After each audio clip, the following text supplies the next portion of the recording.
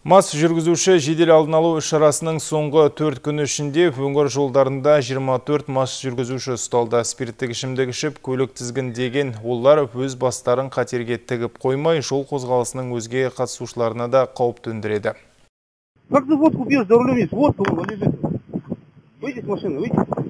Honda маркалы автокөлік жүргізушісін Караван көшесіндегі қалалық патрульдік полиция батальонының қызметкерлері ұстады. Ер адам қалаға Бескөл жағынан кірген. Медициналық куәландыру оның автокөлікті орташа дәрежеде мас күйінде басқарғанын көрсетті. Аталған факті бойынша әкімшілік хаттама толтырылып, материал сотқа берілді. Осыған ұқсас факт Зайсан ауданындағы Свободная көшесінде анықталды. Тексеру үшін Toyota RAV4 жүргізушісі тоқтатылды. Рөлдегі 45 жастағы қала тұрғыны мас болған әкімшілік хаттама толтырылды. Енді ол жеті жылға дейін көлік жүргізу құқығынан айырылуы мүмкін.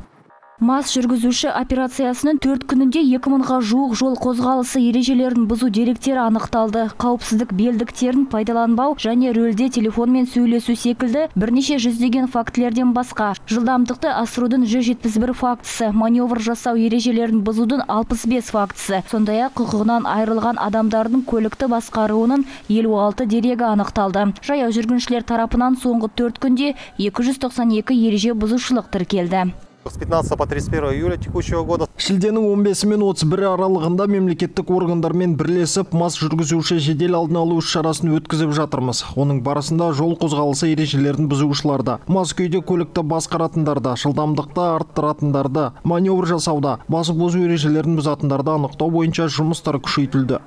Автопатрульдер тек елді мекендерде ғана емес, республикалық, облыстық және аудандық маңызы бар барлық жолдарда жұмыс істейді. Солтүстік Қазақстан облысы полиция департаменті патрульдік полиция батальоны қызметкерлерінің алдында құқық бұзушылықтың жолын кесу ғана емес, жүргізушілерге жан-жақты көмек көрсету міндеті тұр. Соңғы 6 айда қала сыртындағы жолдарда қызмет көрсететін патрульдер жүргізушілер мен олардың жолаушыларына елуден астам рет көмек көрсетті. Майгүл Силбек облыстық полиция департаменті баспасөз қызметінің көмегімен әзірленді.